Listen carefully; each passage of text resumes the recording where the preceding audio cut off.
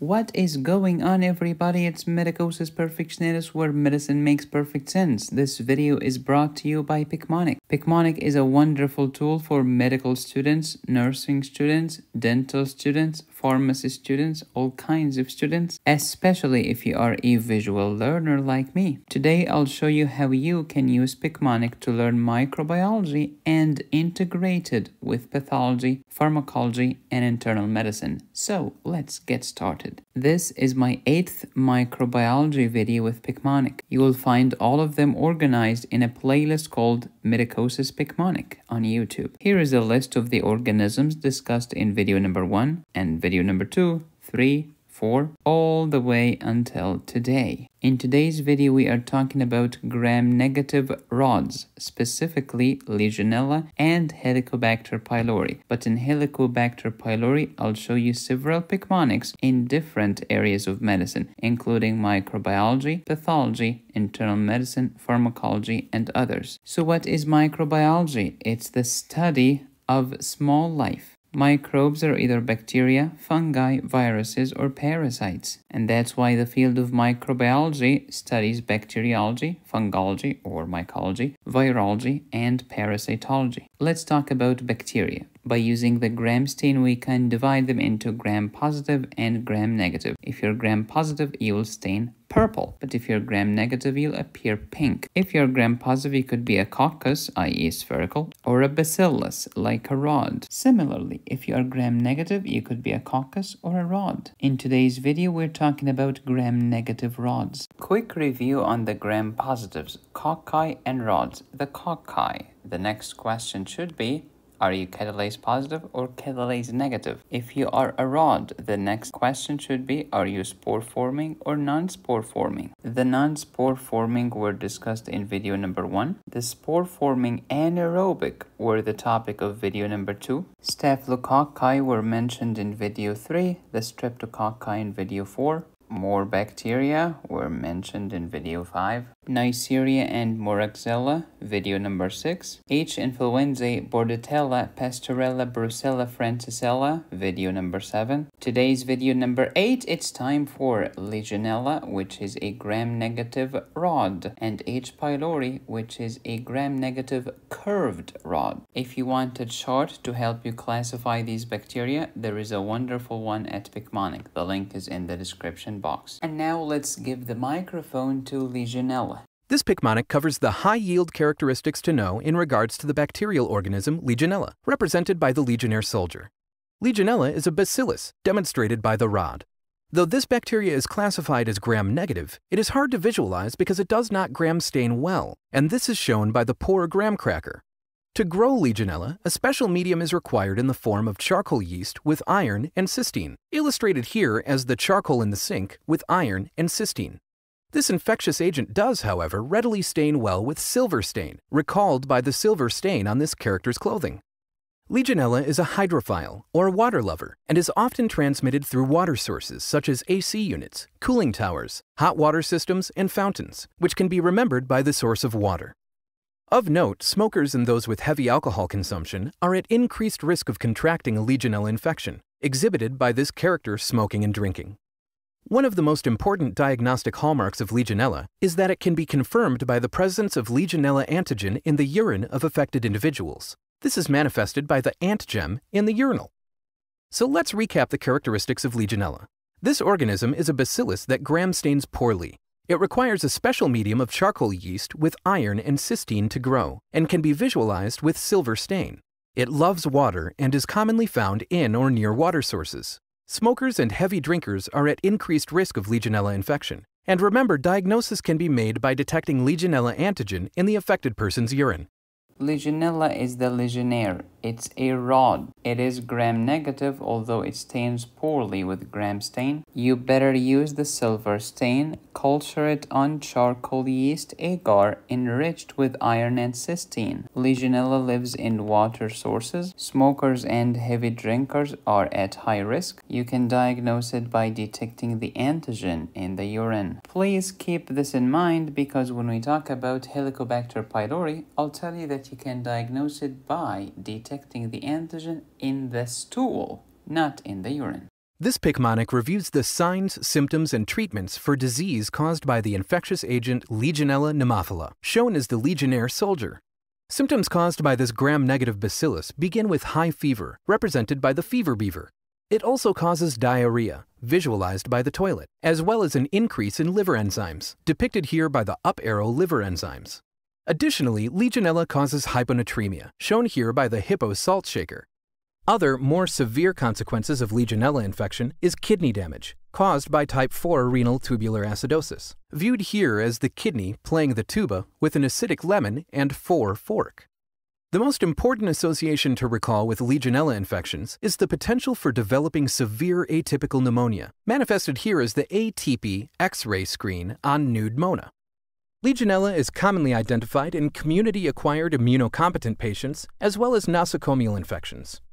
Legionella is also responsible for Pontiac fever, pictured here as the Pontiac car, which is a milder respiratory infection that presents classic flu-like symptoms.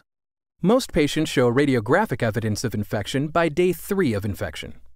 Treatment includes fluoroquinolones, recalled here by the flower queen, and this class of drug is composed of antibacterial agents that cause disruption of DNA replication and end in the suffix floxacin, Macrolides are another class of pharmaceutical agents that have proven effective in treating this infection, comprised of erythromycin, azithromycin, and clarithromycin.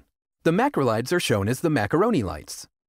So let's summarize Legionella disease. These patients commonly present with high fever and diarrhea.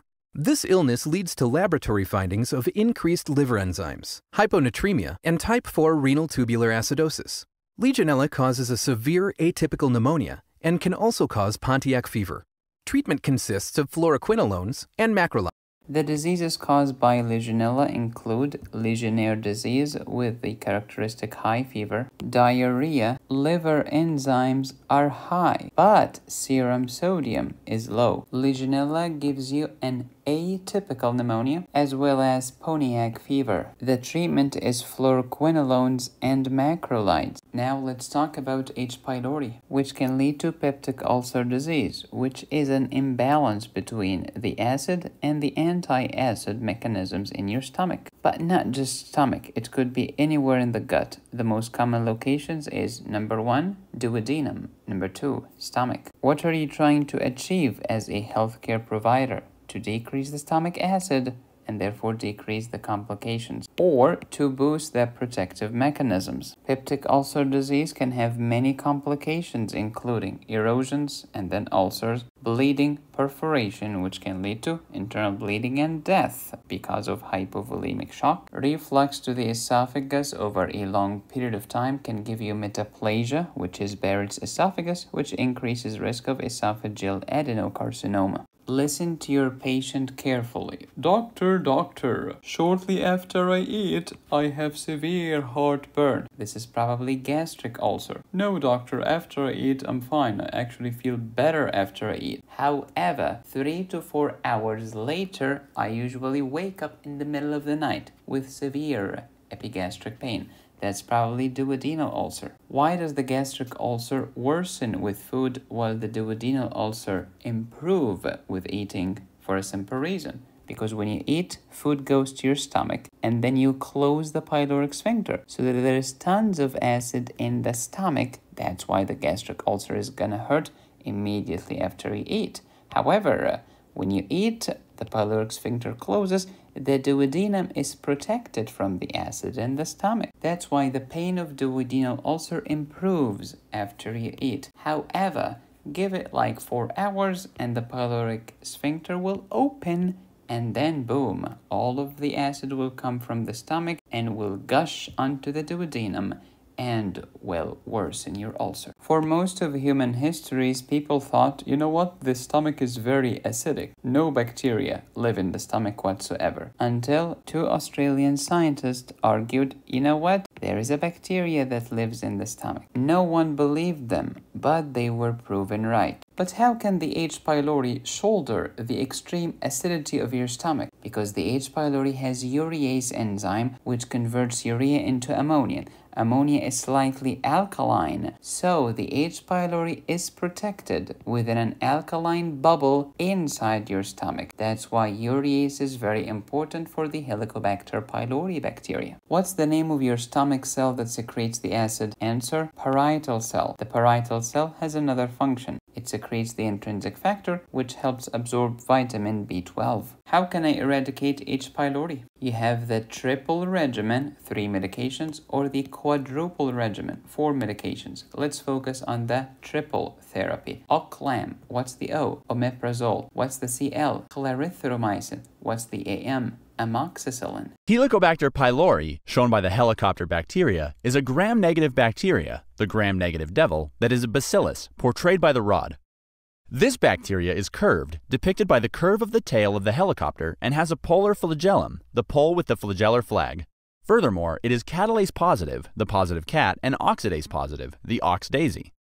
H. pylori is the most common cause of gastric and duodenal ulcers, depicted by the ulcer volcano in the antrum and duodenum.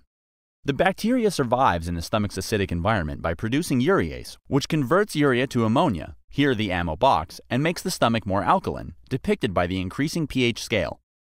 A long-term complication of chronic inflammation caused by H. pylori includes gastric adenocarcinoma, shown by the carnome with the ad sign and the tumor character, and malt lymphoma, portrayed by the malt liquor and the foaming lime.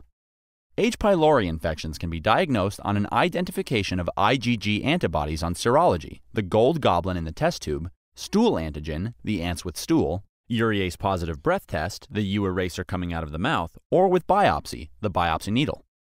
The standard treatment is a triple therapy of two antibiotics and a proton pump inhibitor, shown by the two ABX characters with the PPI pump.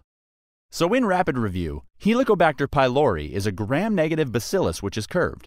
It has a polar flagellum and is catalase positive and oxidase positive.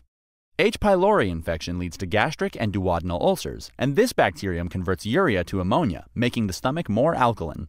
Long-term complications of infection include gastric adenocarcinoma and malt lymphoma.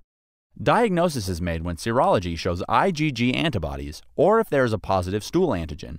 Other tests include the urease positive breath test and gastrointestinal tissue biopsy. The standard treatment is triple therapy with two antibiotics and a proton pump inhibitor.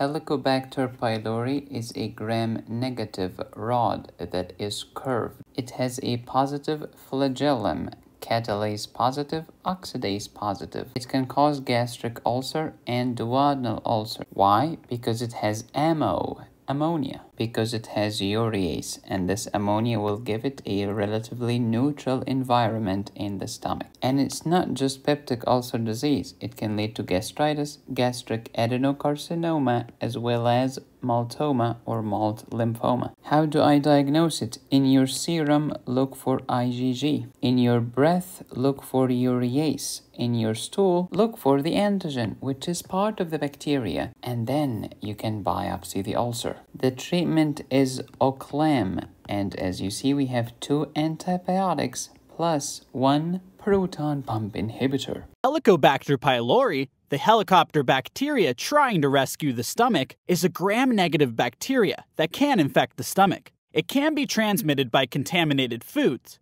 Helicobacter pylori infection can lead to gastritis, the stomach on fire, as Helicobacter pylori is a common cause of type B chronic gastritis. Over time, peptic ulcer disease can result, the pepper ulcer volcano. This can include both gastric and duodenal ulcers. Finally, the chronic inflammation and tissue damage induced by Helicobacter pylori can eventually lead to stomach cancer, the stomach tumor character. So, let's review. Helicobacter pylori is a gram-negative bacteria associated with chronic gastritis and peptic ulcer disease. It is considered to be oncogenic because of its relationship to stomach cancer. The diseases caused by H. pylori include gastritis, usually here near the pylorus, peptic ulcer disease including gastric and duodenal ulcers, as well as stomach cancer including adenocarcinoma, as well as maltoma. In this Picmonic, we will learn about urease positive organisms, illustrated by the story of U eraser positive erasing the symbol of peace in the town. Urease positive organisms are a group of organisms that can convert urea to ammonia and carbon dioxide. This is represented by a U rainbow, ammo, and CO2 molecules. The production of ammonia will result in the alkalinization of the medium, which is most often urine. This results in an increased urine pH, shown by an up arrow urinal pH scale. Helicobacter pylori is the first of these organisms and is represented by a helicopter bacteria. This organism is most likely to be found in the stomach. Next is Klebsiella, illustrated by a clubbing sea lion, and Cryptococcus, shown by a crippled cock. Ureaplasma, shown by a U rainbow plasma TV, and Proteus, represented by a Prometheus, are two more organisms that express urease. Nocardia is illustrated by a note card, and Staphylococcus epidermidis is represented by a staff on epidermis histology. The final urease positive organism in this picmonic is Staphylococcus saprophyticus, depicted by a staff sapphire. To recap, urease positive organisms are a group of organisms that can convert urea to ammonia and carbon dioxide. This will result in increased urine pH. These organisms include Proteus, Nocardia, Ureaplasma, Helicobacter pylori, Klebsiella, Cryptococcus, Staphylococcus epidermidis, and Staphylococcus saprophyticus. The urease enzyme converts urea into ammonia, which is relatively more alkaline compared to the stomach acidity. Urease positive organisms include H. pylori, Klebsiella, Ureaplasma, Proteus, Nocardia, Staph epidermidis, and Staph saprophyticus. This picmonic helps you assess peptic ulcer disease. Just think about the time this pepper ulcer volcano was awakened on Assessman Island, much to the dismay of all the island's inhabitants. Peptic ulcers are caused by the bacteria Helicobacter pylori, the helicopter bacteria that came to rescue the island's castaways. And he was carrying this up arrow stomach with an acidic lemon who squirted juice, upsetting the pepper. This is because increased stomach acid secretion can also lead to peptic ulcers. Patients present with abdominal pain. The abdominal pain bolts on the assessment that were caused by the mayhem of this volcanic eruption.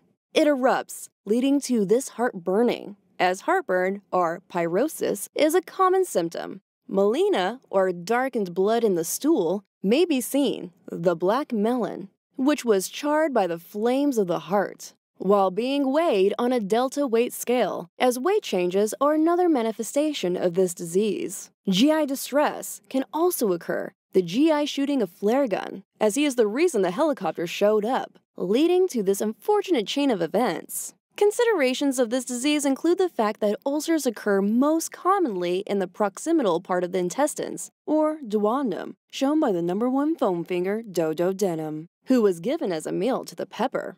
This dodo denim was eaten, causing these pain bolts to be relieved, as pain is relieved with eating in duodenal ulcers. With gastric ulcers, however, pain is caused by eating, the stomach being eaten, causing pain bolts to appear in the pepper. So, to review the assessment of peptic ulcer disease, it is caused by the bacteria Helicobacter pylori. It can also be caused by increased stomach acid secretion. Patients show abdominal pain, heartburn, melena, and weight loss. GI distress can also occur. Ulcers most commonly occur in the duodenum, and duodenal ulcers are unique because the pain is relieved by eating. Conversely, in gastric ulcers, the pain is caused by eating.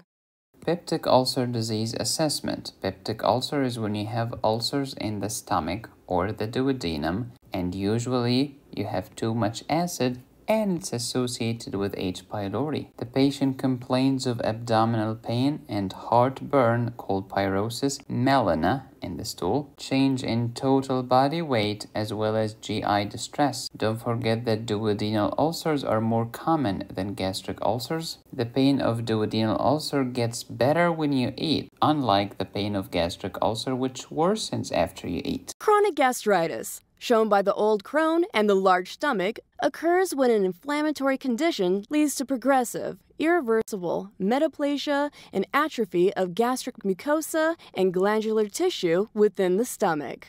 There are two main types Type A is also called autoimmune atrophic gastritis, shown by the right side of the stomach with the A apple.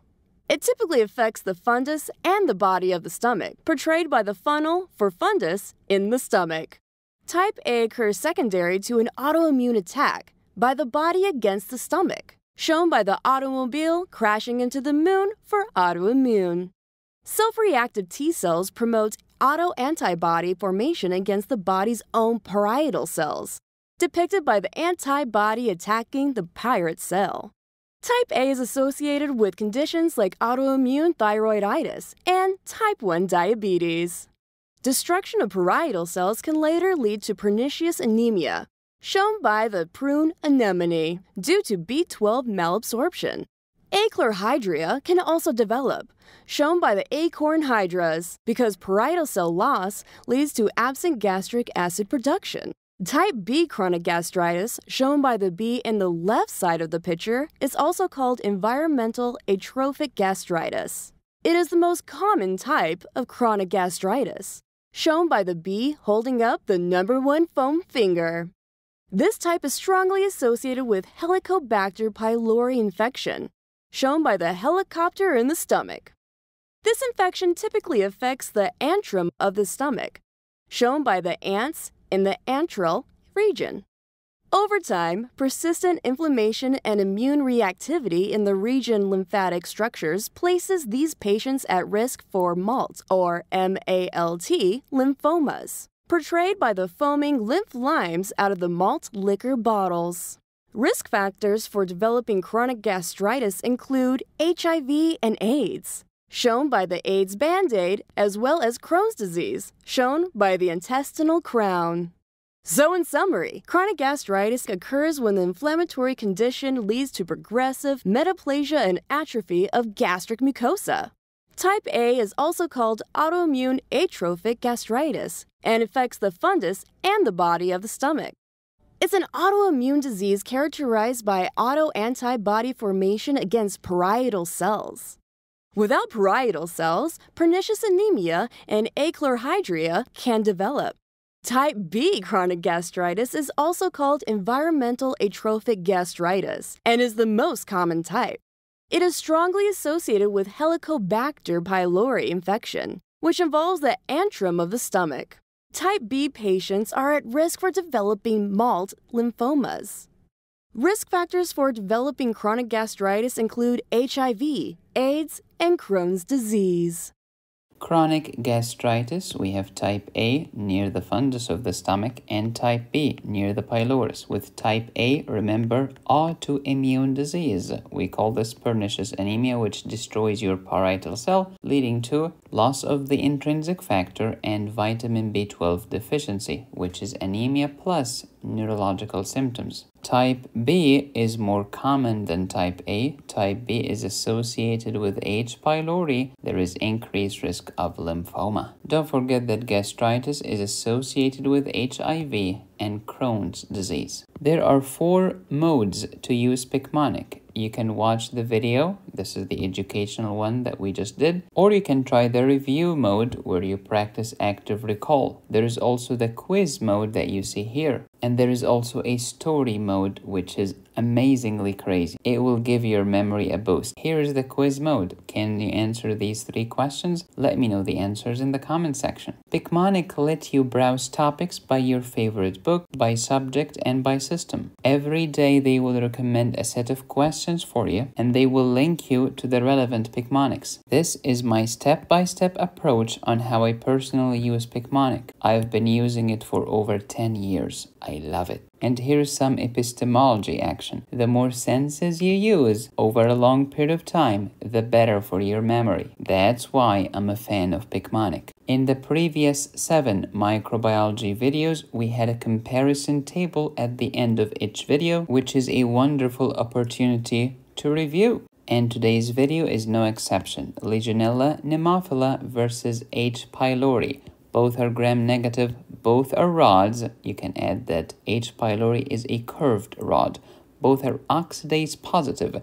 Legionella pneumophila will give you the Legionnaires disease or the Pontiac fever. Look at this double N, pneumonia, hyponatremia, CNS problems, Pontiac fever. Helicobacter pylori will give you gastritis, usually type B, peptic ulcer disease, most commonly in the duodenum, gastric cancer, including adeno and malt lymphoma. You diagnose Legionella pneumophila by finding the antigen in the urine, but in H. pylori, the antigen is in the stool. You can use other tests such as the silver stain and charcoal yeast agar enriched with iron and cysteine for Legionella. For H. pylori, we use urease breath test serum IgG antibody, and you can biopsy the ulcer. Legionella pneumophila is treated with macrolides or the flower queen, but H. pylori is treated with the triple therapy OCLAM, one proton pump inhibitor, two antibiotics. Do not forget that clarithromycin is indeed